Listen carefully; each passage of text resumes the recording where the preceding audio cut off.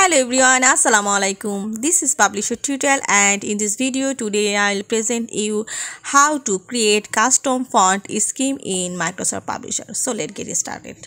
I open a new publication here and this is the uh, text box and this is the heading and this is the body font. And i want to create custom font so first i go to page design menu and then i click here in font. I click the drop down and then i click here and create new font. And there is a dialog box appear here and i choose the heading font and also choose body font. So i click here the drop down menu of the heading font.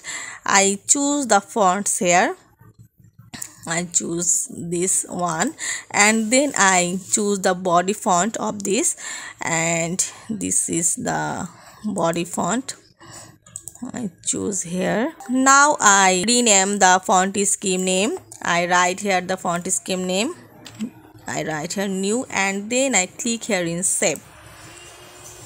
Now you can see the heading of the font and the body font is changed uh, in the text box. I click here and now i select this custom and this is the new creation of the font scheme new. So viewers I create here a new custom font scheme here.